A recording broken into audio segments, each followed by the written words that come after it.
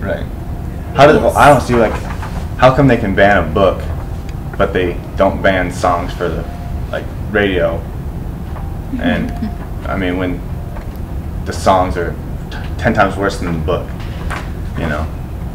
And not only that, this is a book about Sherman Alexie and his childhood, and how he had a hard time living as an Indian, and still nowadays Indians still have a hard time living out on the reservation. You know, they're not given the op- like certain op- opportunities to live a, a really nice higher life.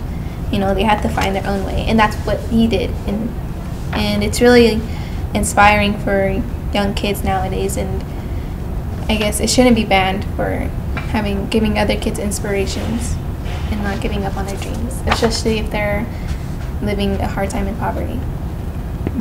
Um, And I'd recommend the book because it's a really good book. It's a good story.